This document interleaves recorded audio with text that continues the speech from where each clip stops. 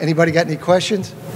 How much would something like this cost the state budget altogether, Well, that's what we've been, been looking at. Now, uh, the first part of it, for the basic and for the, uh, for the enhanced, not the uh, ones who turn 80, that's about $2.1 billion, okay? And I don't know if you were here when I said the comptroller has stated uh, that there are $13.5 billion that's been sent from the federal government strictly for homeowners, 13.5.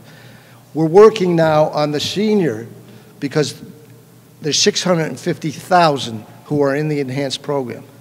But they're 65, 66, 67. We're trying to find out how many are 80 years of old or older.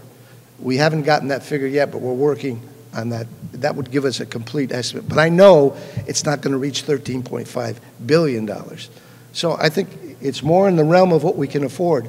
And if we're ever going to do this, because look, we're, as uh, someone Lawler said, we're spending like uh, drunk soldiers, and that's an embarrassment to drunken uh, sailors and soldiers right now. And I'm afraid we're going to get right back into the situation we were before, where we're in a deficit situation. And we don't want to ask for another pandemic to have us bailed out by the federal government.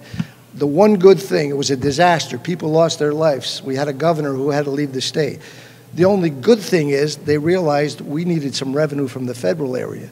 And they gave us, as I said, money from the federal government to take care of our deficit, to bring us through the shutdown of our economy, and to have billions of dollars in surplus.